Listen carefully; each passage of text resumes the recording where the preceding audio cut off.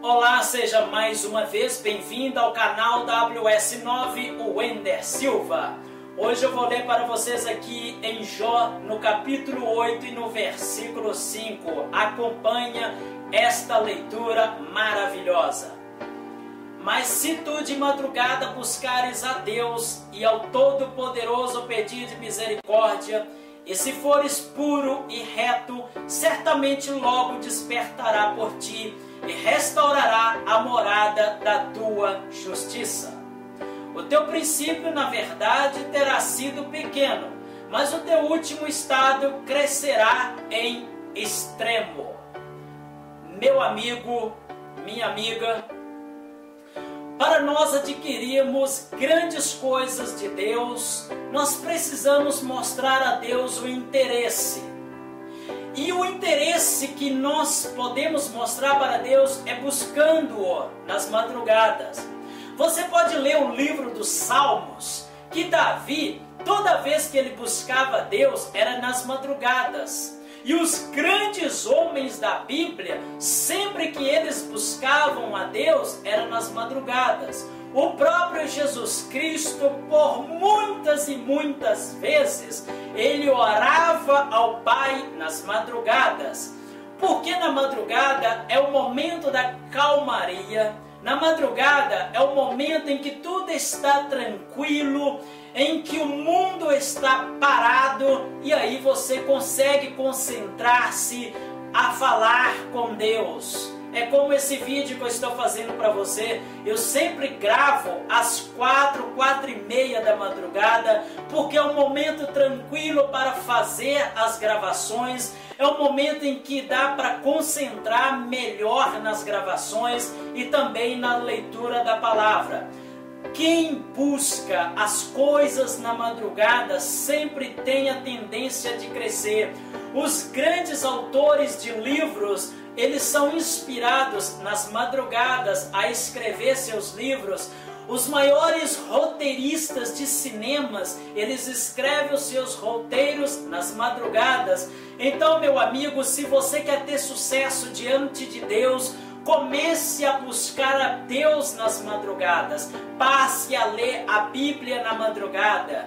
Passa a orar nas madrugadas. E o melhor disso tudo é que você vai estar fazendo isso em um momento em que poucas pessoas estão fazendo. E Deus ele vai te encher de unção, de poder e de autoridade. E quando você apresentar-se na igreja, você vai estar tão cheio de poder e de autoridade e de unção que quando você começar a pregar a palavra de Deus, você vai estar tão cheio que a igreja vai ficar perplexa, vai ficar espantada e eles irão perguntar uns entre os outros: como é que ele tem tanto poder? Como é que ele está conseguindo pregar tanto se a gente não o vê lendo a Bíblia? Como é que Deus está usando ele ou ela se nós não o vemos orar? Meu amigo, a melhor arma do ser humano é a surpresa. A melhor coisa que você pode fazer é surpreender a tua igreja cheio da unção, é buscando nas madrugadas, é buscando a leitura da palavra de Deus, é buscando o jejum, buscando a oração na madrugada, aonde ninguém está te vendo, somente Deus. Somente Deus está vendo você e Ele derramará o azeite sobre a tua vida em particular. Mas quando você chegar no púlpito da igreja, todos vão ficar espantados. Mas espera aí, eu não vejo ele orando. Como é que ele tem tanta unção? Eu não vejo ele lendo a Bíblia. Como é que ele consegue pregar? Ah, eu vou perguntar para ele como é que ele faz para ter tanta palavra. Meu amigo, aí você vai dizer o segredo. O segredo é a madrugada. Porque na madrugada pouca gente está fazendo o que eu faço e aí Deus tem mais tempo de me abençoar, porque na madrugada a fila é menor e aí eu consigo ser atendido por Deus, porque de dia todos estão fazendo a mesma coisa, de dia todos têm o seu tempo de ir na igreja e fazer as mesmas coisas, os mesmos pedidos, então todos recebem pouco. Agora, como eu vou na madrugada orar, a buscar, a fila é menor, então eu consigo ter um diálogo maior com Deus. Eu consigo ter um diálogo mais íntimo, mais próximo com Deus. É isso que Bildade falou para Jó. Bildade lhe disse, olha, mas se de madrugada buscares a Deus, ao Todo-Poderoso, pedides misericórdia, se fores puros e retos, certamente logo despertará por ti. Meu amigo, se você buscar a Deus na madrugada, Deus vai despertar para você.